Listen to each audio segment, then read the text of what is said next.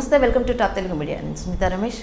ప్రస్తుతం మనం పశ్చిమ గోదావరి జిల్లాలోని ఉండి నియోజకవర్గంలో ఉన్నాము.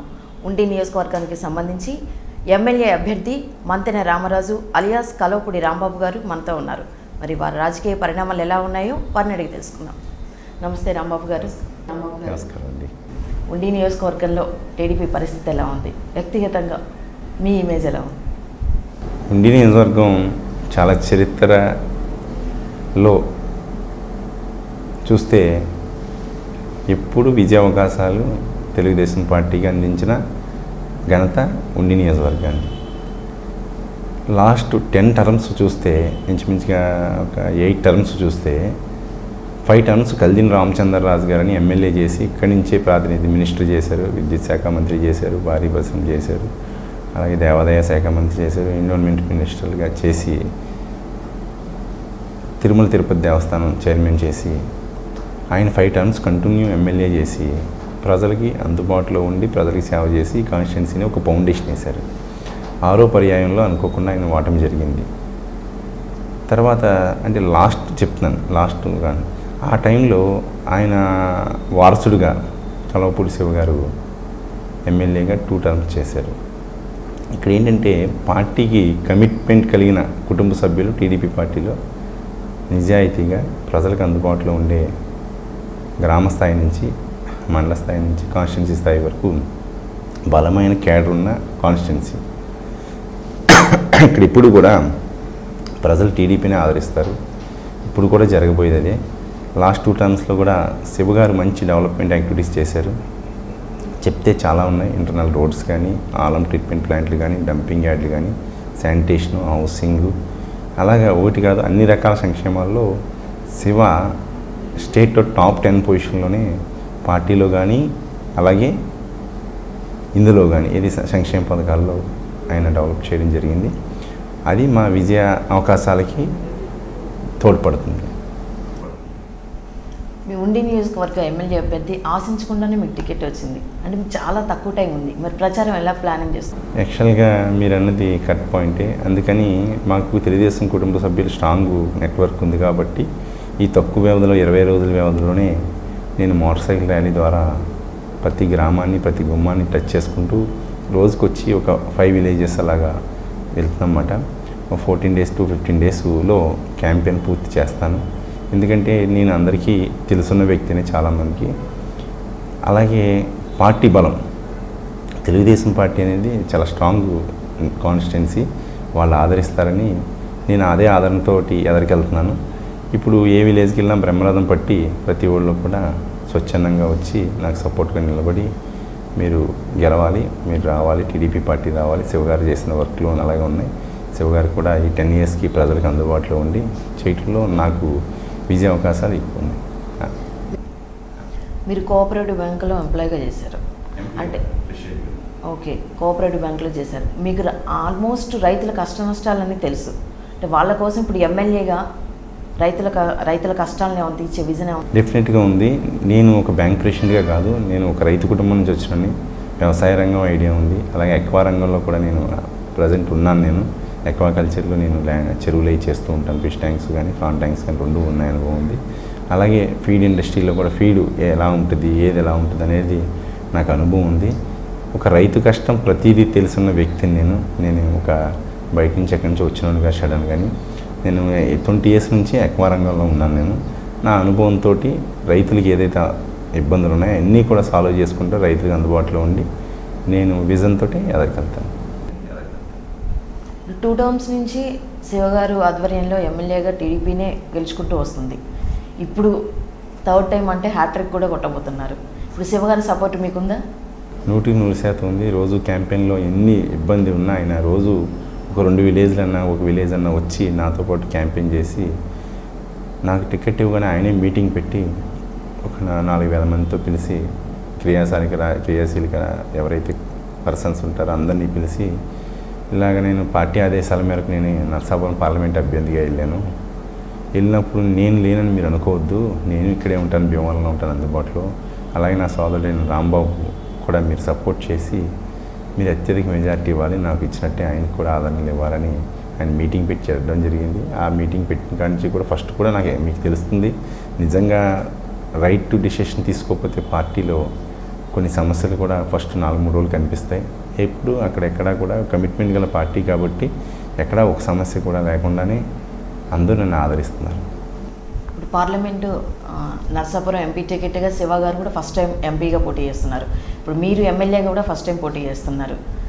మరి ఈ ఫస్ట్ టైం పోటీ చేస్తున్నారు కదా మీకు కొత్తగా అనిపిస్తుందా? అసలు మిమ్మల్ని చూజ్ చేయడానికి శివగారు రీ- శివగారు కానీ చంద్రబాబు గారు మిమ్మల్ని ఎమ్మెల్యే అభ్యర్థిగా చూజ్ చేయడానికి రీజన్ ఏంటి? ఒక ఎమ్మెల్యే అవ్వాలంటే ఎవరైనా ఫస్ట్సారి పోటీ చేస్తేనే ఎమ్మెల్యే అవుతారు. ఒక ఎంపీ అయినా సరే ఒక మొదటిసారి పోటీ చేస్తేనే ఎంపీ అవుతారు. డైరెక్ట్గా పుడతా ఎంపీ రాదు పుడతా ఎమ్మెల్యే రాదు. ఓటు కూడా రాదు మనకి. మీరు కూడా అర్థం చేసుకోవాలి. ఒక వ్యక్తి మనం ఏబీసీడీలు చదువుతుంటే జడ్డుకి వెళ్ళాలంటే ఫస్ట్ ఏ మొదలెట్టాలి. అంకెలు కూడా అంతే. ఓటు మొదలెడితే హండ్రెడ్కి వెళ్తుంది one two one two hundred అది ప్రారంభం ఆరంభం ఇది. ఎట్టి పరిస్థితుల్లో అది ఎదరికి నడుస్తూ ఉంటుంది. ఇప్పుడు ఆగదు. ఎందుకంటే మీరు ఎమ్మెల్యే అవ్వాలి అంటే ఇది అని ఏం లేదు కదా దీనికి జనరల్గా. ఫస్ట్ సారి పోటీ చేస్తేనే ఒకసారి ఎమ్మెల్యే అవుతారు. రెండోసారి పోటీ చేసిన ఎక్కితే మళ్ళీ ఎమ్మెల్యే అవుతారు. న- మన ప్రజలు సేవ చేయబోతే ఇంటికి పంపేసి కూర్చోబెడతారు అంతే. ఉండి నియోజకవర్గంలో ఉండితో పాటు నాలుగు గ్రామాలు ఉన్నాయి ఈ నాలుగు గ్రామాల్లో ఏమైనా సమస్యలు చూసారా? గుర్తించారా? ఉండి నియోజకవర్గంలో నాలుగు గ్రామాలు కదా నాలుగు మండలాలు మేడం. నాలుగు మండలాలు. ఓకే సమస్యలు యాక్చువల్గా మనం చూడాలి. ఫస్ట్ చిన్న చిన్న సమస్యలు. మేజర్ సమస్యలు అంటూ ఏమీ లేవు. ఈ పెద్ద ప్రతి ఇప్పుడు వంద మంది ఇప్పుడు మనం ఉన్నాము. ఫస్ట్లో సెల్ ఏది button key keyboard button cell వాడి ఒకటి కలర్ అంటారు అలా ఒకటి పెరుగుతూ ఉంది. అలాగే జనాలకు కూడా ప్రతి వ్యక్తికి కూడా అవకాశాలు పెరగాలి. ఇప్పుడు చూస్తున్నాం పవర్ అయితే సఫిషియెంట్గా ఉంది మన ఏపీలో పవర్ సఫిషియెంట్గా ఉంటే దానికి కావాల్సిన సబ్స్టేషన్స్ కావాలి. సబ్స్టేషన్ కూడా సఫిషియెంట్గా ఉన్నాయి. ఇప్పుడు జనాల వాడకం కూడా అన్నీ పెరిగినాయి. నీళ్ళు వాడకం పెరిగింది. పూర్వం వాటర్ యూసేజ్ కన్నా ఇప్పుడు వాటర్ యూసేజ్ పెరిగింది. దానికి తగ్గట్టుగానే డెవలప్ చేసుకుంటూ వెళ్తున్నారు. అలాంటి ఎక్కడ సమస్యలు లేవు. చూడాలి. పవర్ కూడా కన్జంప్షన్ పెరిగింది. ఒకప్పుడు ఎంత ఒక కాన్స్టిట్యున్సీకి వచ్చి ఒక స్టబ్ స్టేషన్ ఉంటే పెద్ద ఎక్కువ లెక్క. ఇప్పుడు ఒక కాన్స్టిట్యున్సీకి వచ్చి పది స్టబ్ స్టేషన్స్ ఉన్నా కూడా పవర్ ఇంకా కావాలి కావాలనుకున్నాను అందుకని వాళ్ళకి ఏదైతే అనుగుణంగా మనం ఎదర వాళ్ళకి ఫ్యూచర్ ఏది కావాలో మనం బడ్జెట్ ఎలా తయారు చేసుకుంటామో ఇది కూడా అంతే. వాళ్ళకి కావాల్సిన మౌలిక వసతులు మనం బడ్జెట్ రూపంలోనే ఒకటి ఒకటి అనుకుని ఎదరికి చేసుకుంటూ వెళ్ళాలి. ఎందుకంటే డెవలప్మెంట్ అన్ని రకాల ఇప్పుడు సపోజ్ ఒకప్పుడు ఒక వ్యక్తి సైకిల్ మీద తిరగడం కష్టం. సైకిల్ ఉంటే చాలా ఆస్తిపడి అయి ఉండొచ్చు లేదు అలా ఉండేది. తర్వాత మోటార్ సైకిల్ తర్వాత కార్ అయింది అలా ఇది ఎలా డెవలప్మెంట్ అవుతున్నదో సేమ్ టైం అన్ని డెవలప్మెంట్స్ దాని కూడా ప్రజలకు అనుగుణంగా వెళ్ళాలి. అది వెళ్ళటానికి నేను ప్రయత్నిస్తాను. పార్టీ ఆల్రెడీ ప్రయత్నిస్తున్నది చేస్తున్నది బాగా. తెలుగుదేశం పార్టీ చేస్తున్నది. ఆ చేసిన వలన ఆదరణతో ఈ మళ్ళీ రెండు వేల పంతొమ్మిదిలో కూడా తెలుగుదేశం ప్రభుత్వం రావడం రావడం జరుగుతుంది. కేంద్ర ప్రభుత్వమైన బీజేపీ టీడీపీకి కరెక్ట్ సపోర్ట్ లేదు. మరి స్పెషల్ కేటగిరీ స్టేటస్ని ఎలా సాధించుకుందామని ప్రయత్నాలు చేస్తున్నారు? మేడం గారు అది యాక్చువల్గా మనకి విభజన హామీల్లో ఆ రోజు ప్రధా ప్రధానమంత్రి గారు కూడా ప్రామిస్ చేశారు ఫైవ్ ఇయర్స్ స్పెషల్ స్టేటస్ ఇవ్వాలని అంటే ఇప్పుడున్న ప్రభుత్వం ఫైవ్ ఇయర్స్ చాలు టెన్ ఇయర్స్ కావాలని సెంట్రల్ గవర్నమెంట్లో ఉన్న ఏదైతే బీజేపీ ప్రభుత్వం ఉందో అదే ప్రభుత్వం టెన్ ఇయర్స్ ఇవ్వాలని కోరడం కూడా జరిగింది.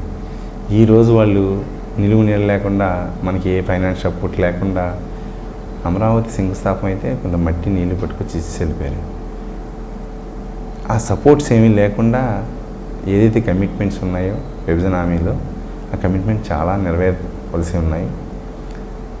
అన్ని ఇబ్బందుల్లో కూడా రాష్ట్రం ఎక్కడా ఏ పని ఆగలేదు. మీరు చూస్తున్నారు కదా అబ్జర్వ్ చేస్తున్నారు మీరు కూడా ప్రజల దగ్గరికి వెళ్తారు ప్రజా అభిప్రాయం తీసుకుంటారు. మీకు ఎట్టి పరిస్థితుల్లో తెలుస్తూ ఉంటుంది మాకన్నా మీకు ఎక్కువ తెలుస్తుంది మీడియాకి ఎలక్ట్రానిక్ మీడియా కానీ ప్రింట్ మీడియాకి కానీ. ప్రజలకు ఎటువంటి హామీలు ఇచ్చి ఓట్లు అడుగుతున్నారు? ఏదైతే ప్రభుత్వం ఏదైతే చెప్తుందో అదే నా ఎజెండా కూడా. ప్రభుత్వం చెప్పే ఎజెండా నాది కూడా. నా ఎజెండా ఏముంటుంది అంటే అందరికీ అందుబాటులో ఉంటాం. రాబోయే కాలంలో నేను నాకు అవకాశం ఇస్తున్నారు. ఇచ్చాక నేనంటూ నేను ఈ అవకాశాన్ని ప్రజలకు అందుబాటులో ఉంటూ ఎక్వా రంగంలో కానీ అలాగే వ్యవసాయాధారిత రంగంలో కానీ ఇండస్ట్రీస్లో కానీ ఈ మూడిట్ల మీద కూడా మౌలిక వసతులు వాటర్ స్కీమ్స్ అన్నీ కూడా నేను నా ప్రయత్నం నేను చేసి ఎట్టి పరిస్థితుల్లో సక్సెస్ అవుతాను. ఇప్పుడు టీడీపీ ప్రభుత్వం ప్రవేశపెట్టిన సంక్షేమ పథకాలన్నీ ఉండే నియోజకవర్గ ప్రజలకు అందుతున్నాయా? అందుతున్నాయి డెఫినెట్గా అందుతున్నాయి. ఇది వర్క్లాగా లేదు కదా అన్- అంతా ఆన్లైన్లో చాలా ఇప్పుడు సంక్షేమ పథకాలు కాకపోయినా ఏదైనా యాక్చువల్గా ఈరోజు ఒక అప్లికేషన్ కూడా పెండింగ్ లేదు. ఏది? ఫెన్షన్ రెండు వేలు ఇస్తున్నారు. ఒక అప్లికేషన్ కూడా పెండింగ్ లేదు. వచ్చింది. టెక్నికల్గా ఏదైనా ప్రాబ్లం ఉండి నేను ఇందాక చెప్పాను కూడా ఇందాక మీ టీవీ వాళ్ళు అడిగితే కూడా చెప్పాను. ఏమని? జనరల్గా ఏజ్ తప్పు పడడం అని. అప్పట్లో ఆ ఏజ్ తక్కువ వేసుకుంటే దానికి బాధ్యత ప్రభుత్వం కాదు. అలాంటివి ఎక్కడన్నా ఉండాలి కానీ హండ్రెడ్ పర్సెంట్ హౌసింగ్ స్కీమ్ ఇన్ని హౌసులు కలిసి కట్టుకోమన్నారు. అలాగే ఫెన్షన్ అప్లికేషన్ పెడితే అందరికీ ఇచ్చారు. అన్ని రకాలు బాగా చేస్తున్నారు. అందులో డౌట్ అయితే లేదు. మంత్రి రామరాజుకి ఓటు ఎందుకు వేయాలంటే ఏం చెప్తారు? అందరికీ అందుబాటులో ఉంటాడు. సౌమ్యుడు. నాకు ఈరోజు సీట్ రావడానికి కూడా కారణం శివగారి ఆశీస్సులతో రావడానికి కారణం కలపూర్ శివగారి ఆశీస్సులతో వచ్చింది నాకు. అలాగే పార్టీ కూడా నన్ను రికమెండ్ చేసి చేసింది. సౌమ్యుడు అందరికీ అందుబాటులో ఉంటాడు. వివాదాస్పదుడు కాదు. వీలైతే సాయం చేస్తాడు. లేకపోతే పక్కన ఉంటాడు. అంతేగాని అదే కాన్సెప్ట్లో ప్రతి వ్యక్తి కూడా నన్ను ఆదరించి ఓటేస్తారని నేను భావిస్తున్నాను. ఫైనల్లీ ఉండి నియోజకవర్గ ప్రజలకు ఏం చెప్తారు? ఉండి నియోజకవర్గ ప్రజలందరికీ కూడా అన్యూన్య రీతిలో కలవపూడి శివ ఉండి ఎమ్మెల్యేగా ఉండి ఆయన నరసాపురం పార్లమెంట్ అభ్యర్థిగా వెళ్ళడం జరిగింది. అప్పుడు ఎప్పుడైతే ఆయన వెళ్ళారో అక్కడ ఆ సీటు ఉండి నియోజకవర్గం సీటు శివగారి ఆశీస్సులతో నాకు ఇవ్వడం జరిగింది. కాబట్టి అందరూ కూడా ప్రజలు ఈ సంక్షేమ పథకాలు అన్నీ చూశారు. లాస్ట్ మన నిలువు నీడ లేని టైంలో అమరావతిలో మనకి రాజధానికి నిర్మాణం స్టార్ట్ అయ్యి ఆల్రెడీ మన పరిపా పరిపాలన సంబంధించి పరిపాలన భవనాలు కానీ అలాగే హైకోర్టు భవనాలు కానీ అన్నీ చేస్తున్నారు. అలాగే పోలవరం ప్రాజెక్ట్ చేస్తున్నారు. ఒక ఇల్లు కట్టాలి అంటే ఒక ఫైవ్ ఇయర్స్ పడుతుంది ఒక ఇల్లు కట్టుకోవాలంటే. అటువంటిది పోలవరం ప్రాజెక్టు ఎప్పుడు యాభై అరవై ఏళ్ళ క్రితం శంకుస్థాపన జరిగింది. అది దశ దిశలుగా ఎప్పుడు ఏది అందులో వర్క్ జరగలేదు. గౌరవ ముఖ్యమంత్రి వారు ఈయన అయిన వెంటనే ఫస్ట్ భద్రాచలం డివిజన్లో భద్రాచలం డివిజన్లో మేడం గారు ఉన్న ఏడు మండలాలని సెంట్రల్ గవర్నమెంట్ని అడిగి మిత్రపక్షంగా మేము చేసాం ఎట్టి పరిస్థితుల్లో ఏంటి ఆ ఏడు మండలాలు తీసుకొచ్చి ఐదు మండలాలేమో దీంట్లో అవి తీసుకొచ్చారు. ఇది ఈస్ట్ గోదావరిలో కలిసింది. రెండు మండలాలు వెస్ట్ గోదావరిలో కలిసింది ఆ ఏడు మండలాల వల్ల ఈరోజు పోలవరం ప్రాజెక్ట్ పూర్తవుతున్నది. సిక్స్టీ ఫైవ్ పర్సెంట్ కంప్లీట్ అయింది. గ్రావిటీ ద్వారా నెక్స్ట్ ఆగస్ట్ సెప్టెంబర్ జూన్ జూలైలో కానీ గ్రావిటీ ద్వారా కృష్ణాకి కూడా అందుబాటులో నీరు నీరు చేయడానికి ప్రభుత్వం చేస్తుంది. ఇవన్నీ చూసి ఉన్న డెవలప్మెంట్ యాక్టివిటీస్ చూసి అందరూ కూడా ప్రజలందరూ ఓటు వేయడానికి ముందర వస్తారు. ఓటు వేయడంలో కూడా ఫస్ట్ నరసాపురం పార్లమెంట్ అభ్యర్థి అయిన కలవపూడి శివగారికి అలాగే ఉండి నియోజకవర్గ అసెంబ్లీ అభ్యర్థి అయిన మంత్రి రామరాజు రాంబాబు అని నేను ఇద్దరికీ కూడా గవర్నమెంట్ చేసిన డెవలప్మెంట్ కానీ శివగారు చేసే డెవలప్మెంట్ కానీ చూసి అందరికీ అందుబాటులో ఉంటామని వాళ్ళందరూ నన్ను మమ్మల్ని సమర్థించి అత్యధిక మెజార్టీతో గెలిపిస్తారని కోరి ప్రార్థిస్తున్నాను. ఓకే రాంబాబు గారు.